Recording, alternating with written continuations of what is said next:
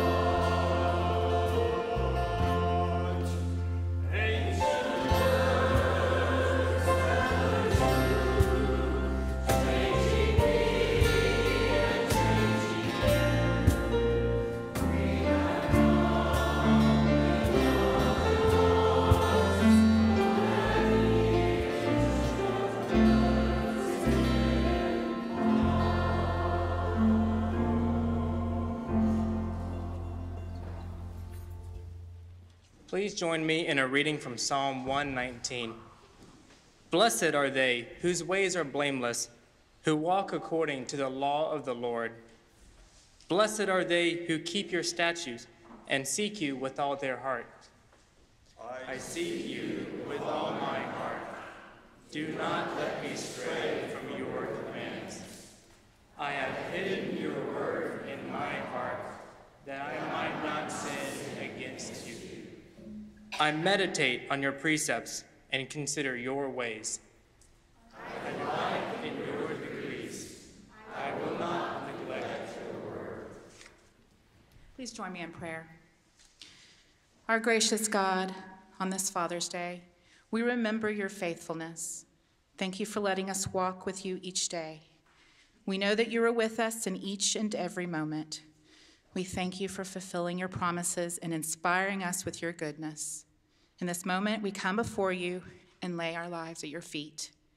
May we continue to adore and worship you with all your, our hearts. May we always praise you and come to know you better. Today, as we join together in worship, may we sing of your greatness and wonder. Father, we adore you. Father, we love you. May we be guided by your light and mercy forever. Amen.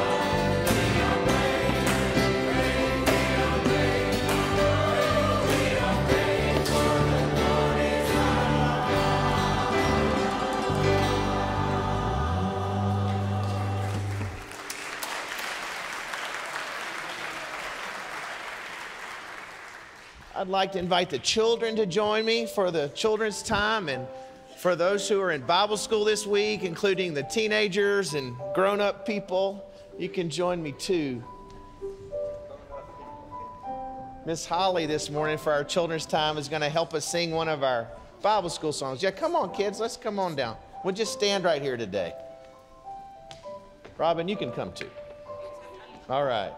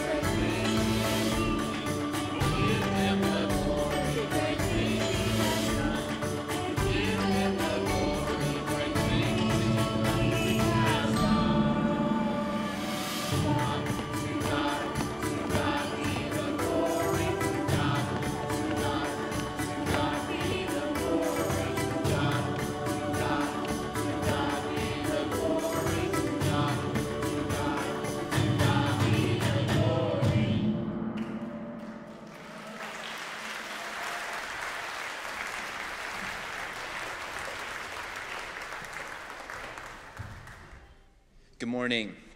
Well, as many of you know, uh, over the past few weeks, we've had several teams traveling uh, on various mission trips. One of them was to Durham, England, uh, one of them to Belfair, Washington, and the last to Ecuador. And all these trips overlapped to some degree.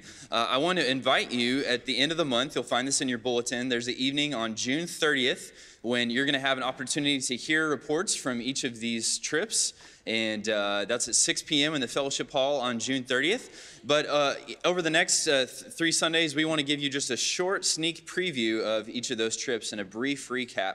And so Sarah is here today uh, to tell you just a little bit about, our Durham, England trip, and she'd just like to uh, tell you a little bit about uh, what happened there and, and share some experiences. So, Sarah? All right. Hi, I'm Sarah. Um, I've been going to FBC for three years now, and this is my second trip to England, so I'm um, really blessed. Um, but yeah, I just wanted to tell you first a little bit about kind of the structure, what we did while we were in England, and then I'll share a story about something I learned. Um, so yeah, so we we had kind of two main um, sections of activities during the day. Uh, we would um, have the first slot from 9 to uh, 3 in the afternoon, and then uh, we had a little break, and then we would uh, have other things that we did in the evenings.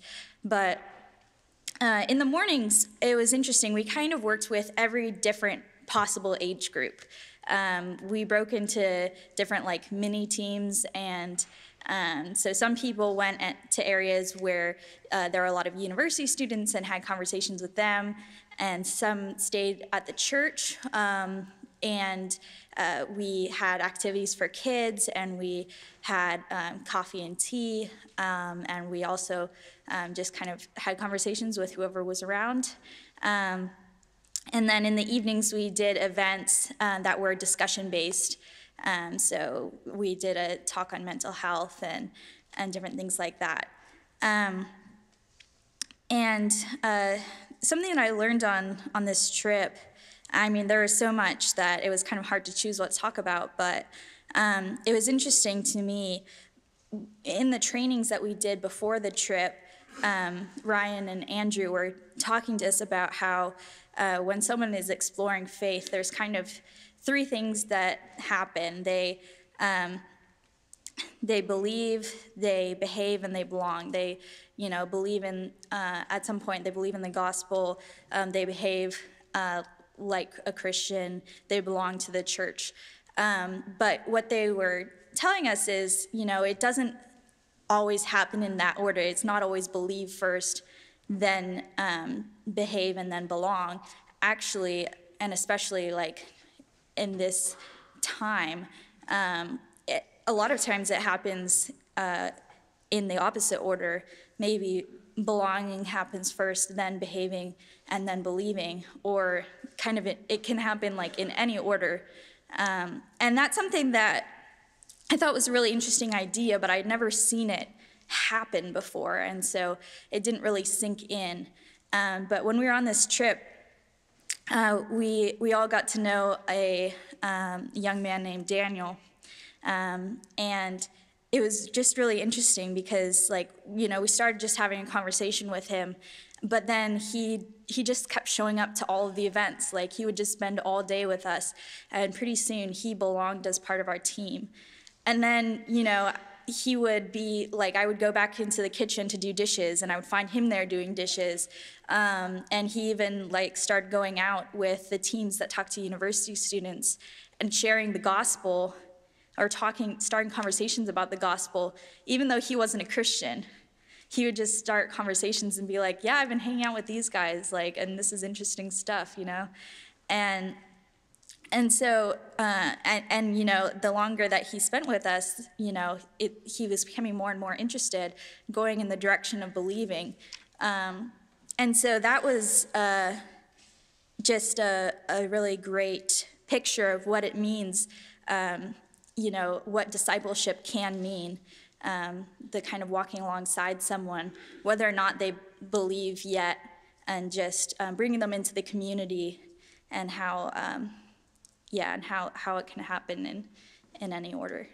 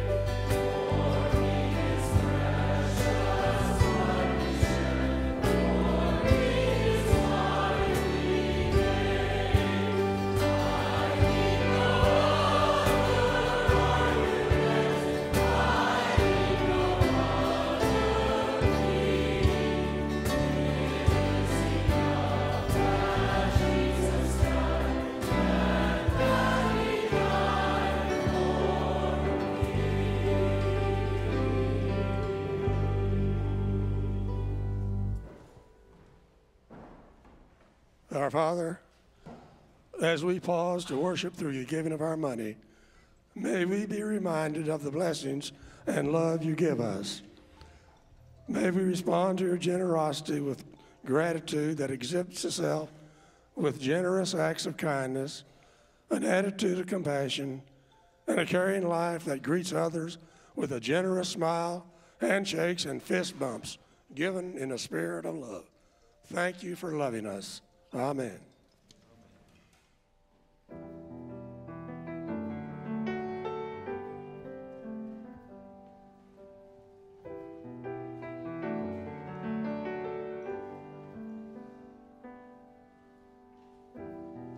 A time for grace, a time for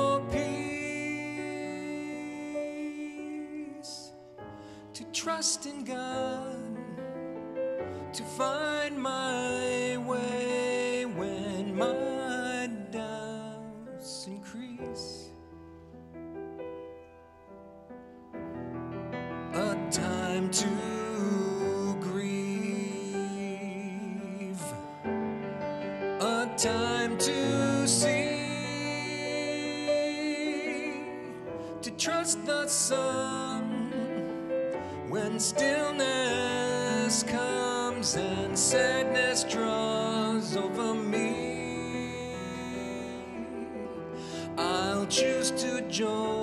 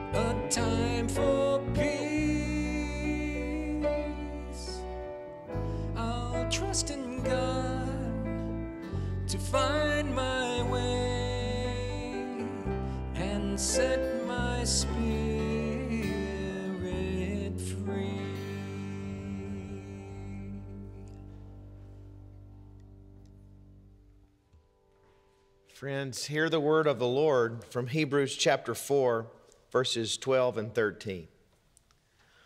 For the word of God is living and powerful, and sharper than any two edged sword, piercing to the division of soul and spirit, and of joints and marrow. And it is a discerner of the thoughts and intents of the heart. And there is no creature hidden from his sight, but all things are naked and open to the eyes of him to whom we must give account. Our good and our holy God, we are grateful for a chance this day to come to the feast of worship. We thank you, Lord, that even as we offer ourselves up to you as living sacrifices, that you feed us from a banqueting table.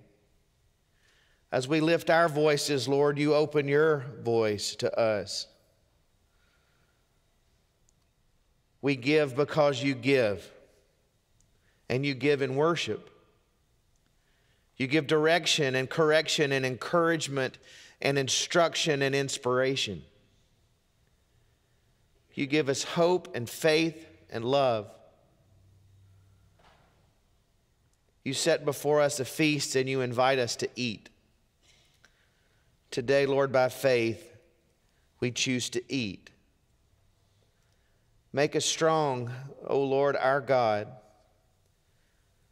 that our lives would honor you, that our words and our deeds would point others to you,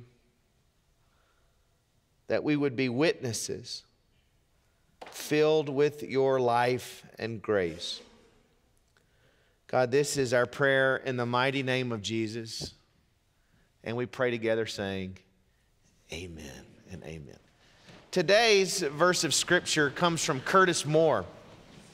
You have been giving passages of scripture to me over the past several weeks, and I encourage you to continue to do that Uh, we certainly won't preach through all of them, but I, I treasure all of them and keep them, and they help me in my own devotional life.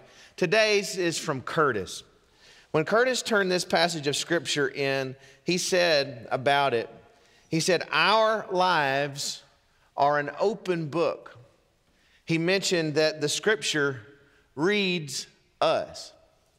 Now, if you just think about that for a moment, that's just a little weird.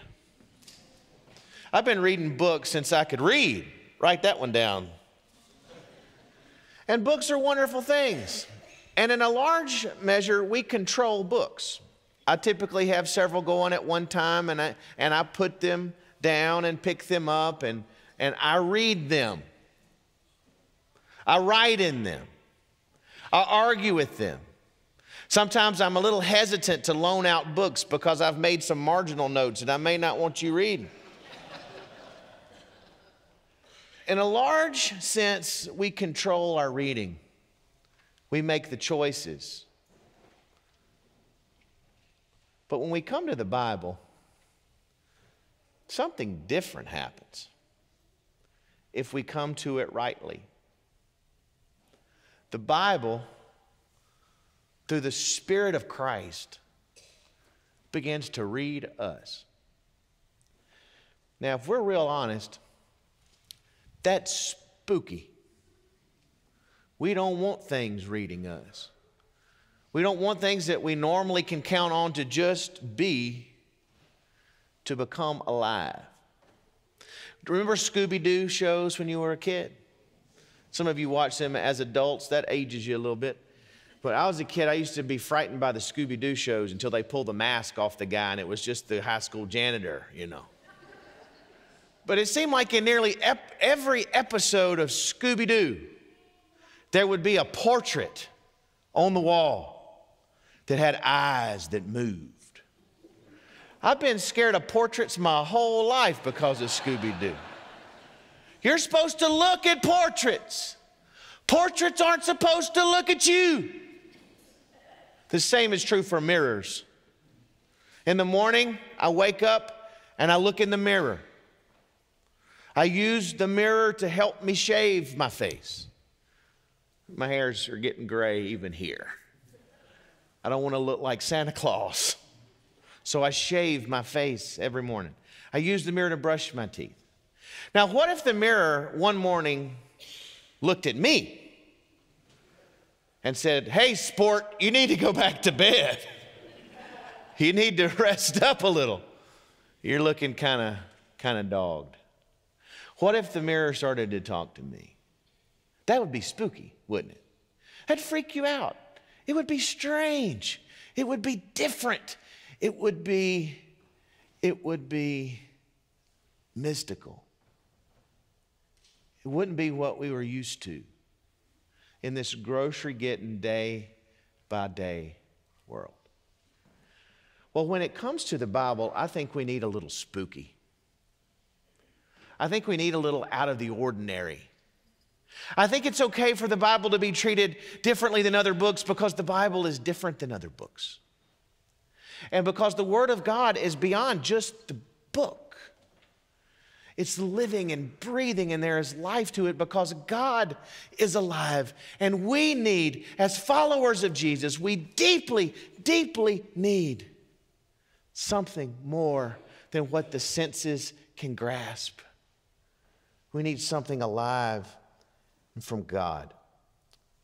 Theologian Cheryl Bridges John says that modern Christians, we suffer from an enchantment deficit disorder. She said, We hunger for great mystery.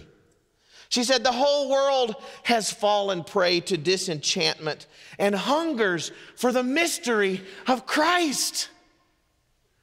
God is alive and wants to commune with us, and He wants us to experience Him, and we are caged in by our senses until we come to this text and it starts to read us. And the one that Curtis chose for us says exactly that that the Word of God is living and powerful. So, what do you do when you discover something's wrong and, and out of place? Let's say she's right and we do have an enchantment deficit disorder. Well, you call time out, you slow it down, and you seek a remedy. So today, we're, during this sermon, we're just going to call a brief timeout. And as my mother taught us, we're going to count to three. One, two, three. And in the counting, I'm going to offer you one, two, and three things for us to consider about this Word of God that is living and powerful, and how we can overcome this enchantment deficit that I truly believe we are experiencing. Okay, number one, if you're taking notes, we have to embrace one sacred and purpose. And this purpose comes from God. That's the greater context of the book of Hebrews. The book of Hebrews isn't a letter, it's this long, continuous argument. And the argument is Christ is the true and the living way. Christ is superior. Christ is better than. Christ is life. Life is Christ. It's about one purpose the glory and the kingdom of God and living under the reign of King Jesus. It's more than just our personal salvation, although that's important. It's about the renewal of life. It's about the church. It's about the community. It's about God's work in this world. Theologian Thomas Smail said it like this For what purpose are men saved and brought to God? In order that they may reveal his kingdom in its nearness and presence, and by the witness of his lordship over every area of human life. The New Testament has less interest in the saved individual in and for himself than some of our traditions have led us to suppose. The end of God's action is the revelation of God's kingdom and glory rather than simply the personal impartation of salvation. What is God's purpose for you? Well, we might answer to be saved and to come to know Him. That's true, but it's not true enough because he wants to take us as his restored and renewed individuals and use us to bear witness to his, his life and his hope and the kingdom and his reign over all the earth. We don't need to live a disenchanted life because God is up to something big. And if we name his name, we are grafted into that for His glory and for our good. We need one sacred purpose. You remember Jack Palance and City Slickers? You got to have one thing. We have one thing to seek ye first the kingdom of God. One. Two, if we want to overcome this enchantment deficit disorder, we've got to recognize that there is a union of two spirits the Spirit of God and our spirit. I love what the book of Romans says in 8, verse 16. The Spirit Himself bears witness with our spirit that we are the children of God. We receive into our very being life, and that life is from God. We are spiritual beings. And God's Spirit communes with our spirit because He loves us. We are spiritual. We don't have to be disenchanted because we live in the enchantment of a relationship with a living God. His Spirit bears witness with our spirit that we are His children.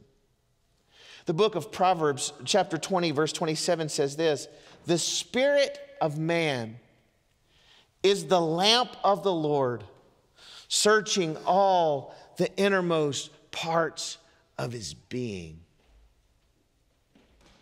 We are spiritual people. And God's Spirit shines like a lantern in our heart. This is a, a large measure of what we talk about when we're talking about the Word of God. We're talking about God shining His light on the inside of us, coming in and doing His work. And God does this in our spirits, in our heart of hearts, in the deep places. And in our spirits, we search the deep things of God. We enter that great bathysphere and we go deep, deep down. And we can commune with God. Friends, we don't have to live a disenchanted life because God is alive. And this may come as a shock to you, but so are you. and your spirit. Your spirit can commune with God, and there he whispers, You're my child. And there he shines his lantern and shows us who we really are. That's amazing. John Calvin said, Whenever the Lord accosts us by his word, he is dealing seriously with us to affect all our inner senses. This is how the Word and the Spirit work. This is how God works. He brings to bear His truth through the living Spirit of Christ. Theologians call this the testimonium.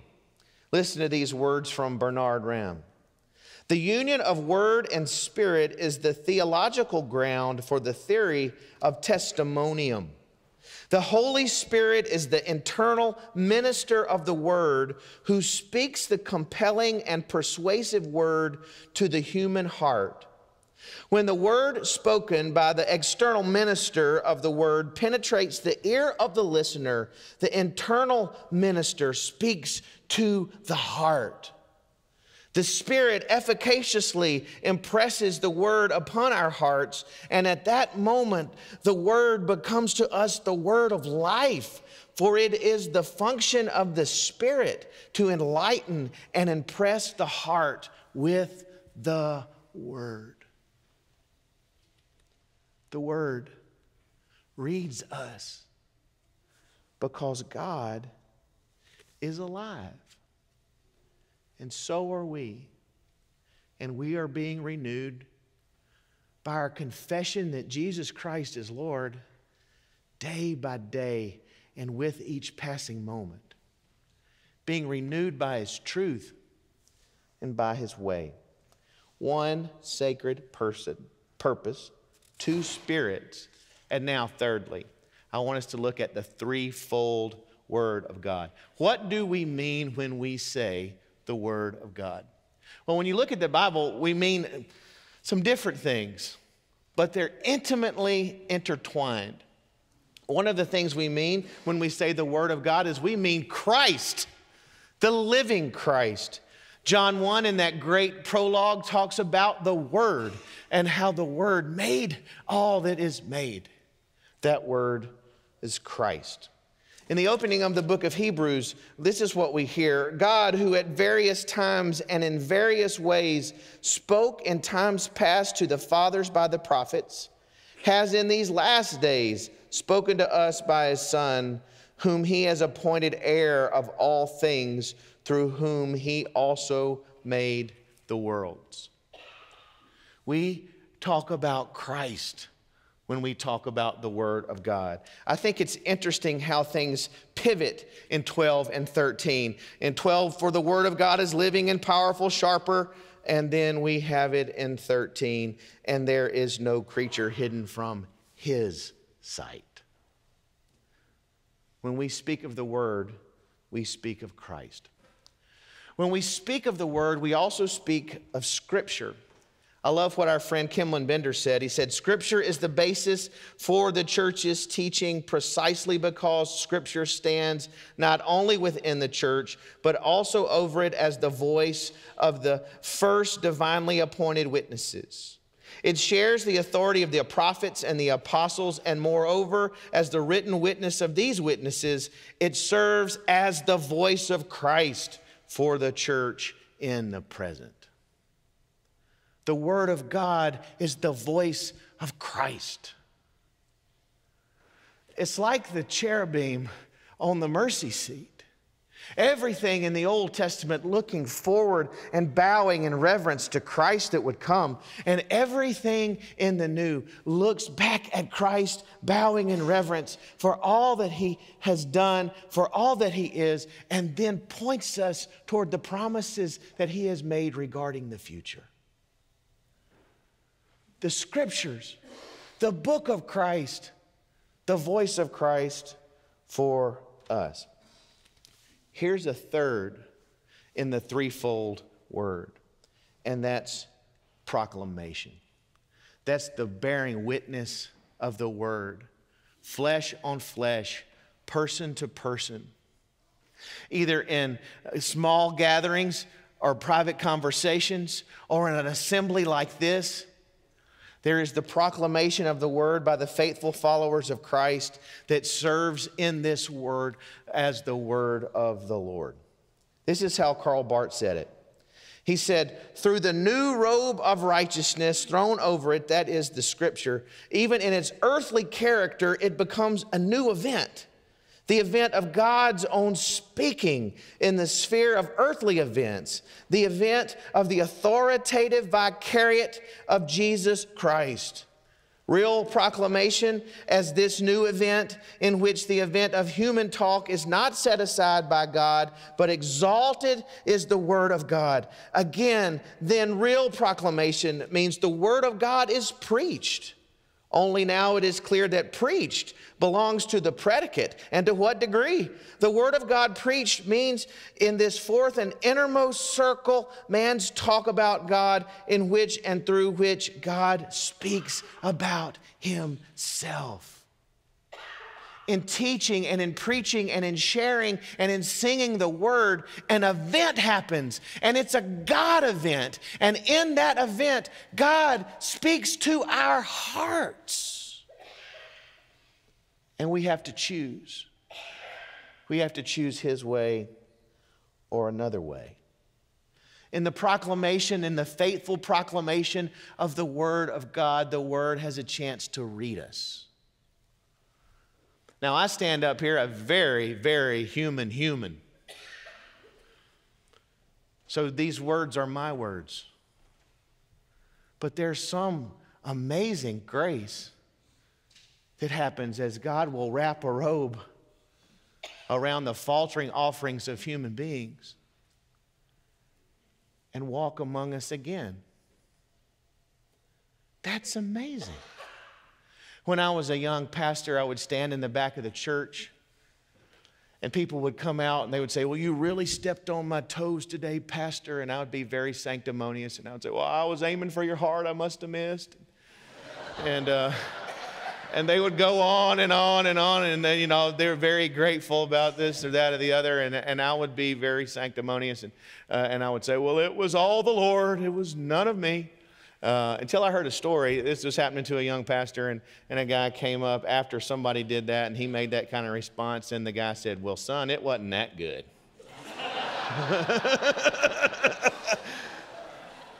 so there's something earthy about this. I mean, I can pray, hide me behind the cross that they may not see me. That'd be a lot of wood, guys. You're always going to see the preacher. You're always going to see the witness. You're always going to see the one that shares. But here's the miracle.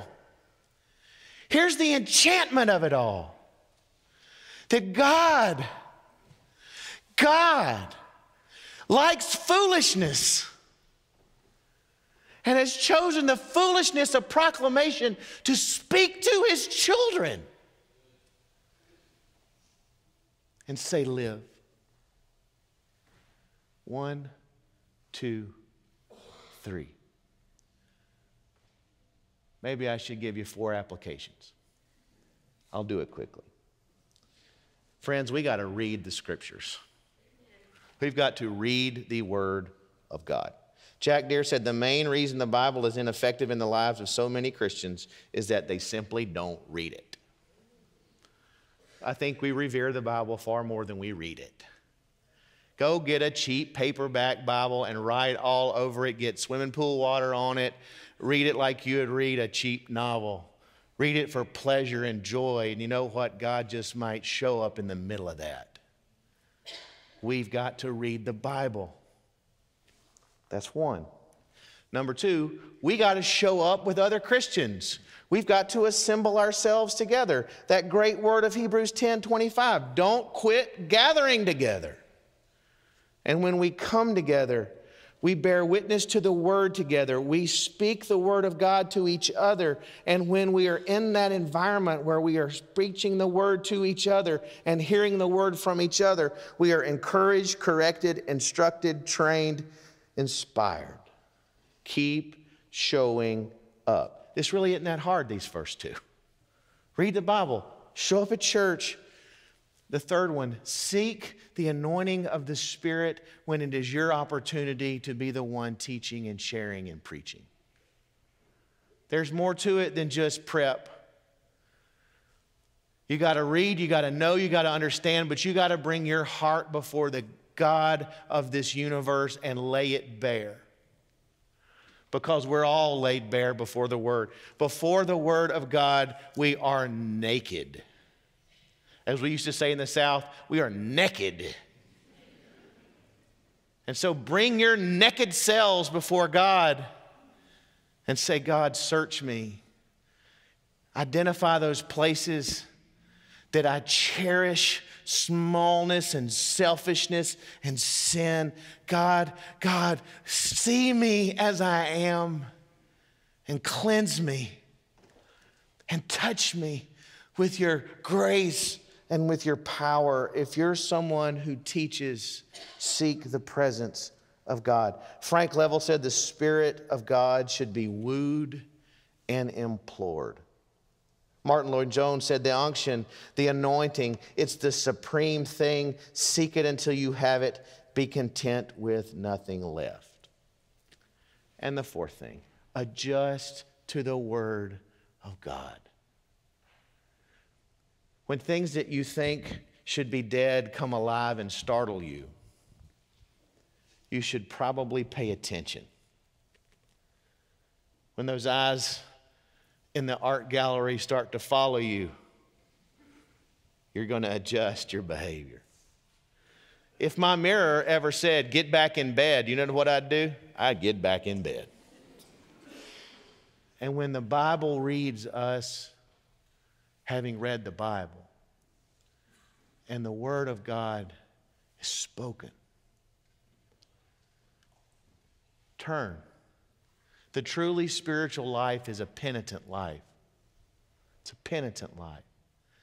And there's joy and there is life in the midst of that. So today, this day, I invite us all to turn fresh again to the Lord. And we all have stuff to turn from and hand over. So, where you're seated as we sing, and I invite you to stand now, ask God to, to search your heart and give him those things that you need to hand over. Today, as we sing this hymn of commitment, you may need to turn toward him by making this church, your church, a place for you to worship and serve, a place for you to be encouraged and instructed. Today, it may be that you would follow Christ, that you don't know how to do that. It's all a it's all very foggy to you and you need somebody to help you talk it out. That might be you today. Whatever God is stirring in your spirit, respond for His glory and for your good. And let's respond as we sing.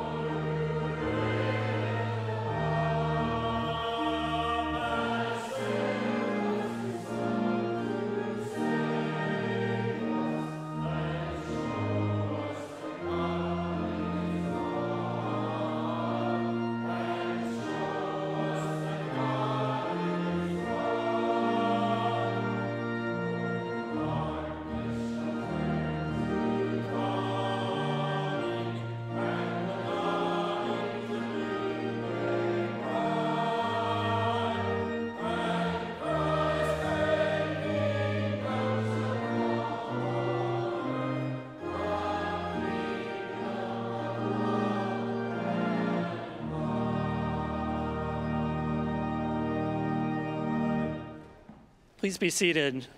I'd like to invite my friends uh, Chris Davis and Carly McLaughlin to come and join me here at the front.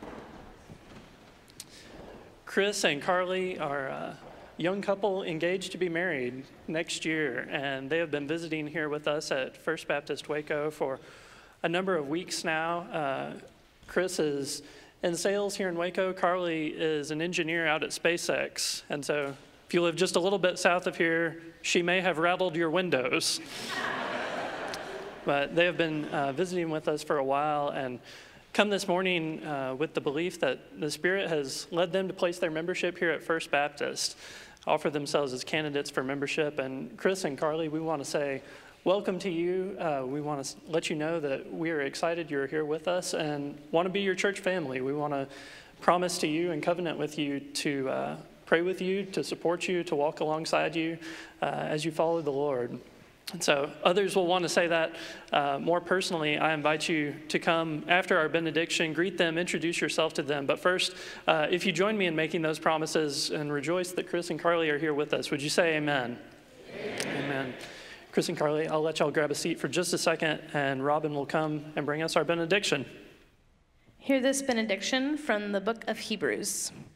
Now, the God of peace, who brought up from the dead the great shepherd of the sheep through the blood of the eternal covenant, even Jesus our Lord, equip you in every good thing to do his will, working in us that which is pleasing in his sight, through Jesus Christ, to whom be the glory forever and ever. Amen.